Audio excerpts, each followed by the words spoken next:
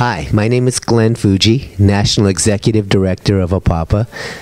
And the reason why I'm so involved with civic engagement is because I feel it's so important for our Asian Pacific Islander American communities to have a voice and to be engaged and understand the impacts that they can make in all of our communities. It all starts with local engagement, advances to statewide, eventually into national engagement.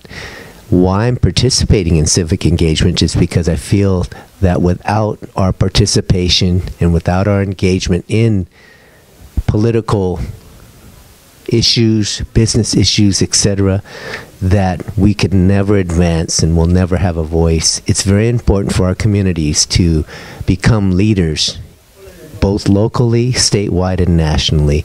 Therefore, we can increase the, the, the voice that we have at all levels. The changes I'd like to see in the future are that uh, we have to continually work to create the voice, leadership, etc., and we'll eventually see changes in more positions being offered to our communities, more positions being earned in our communities, and eventually our voices will be louder so that when our population of our API population grows to over 40% in 2040, that we will have a great infrastructure and platform to build for our future community.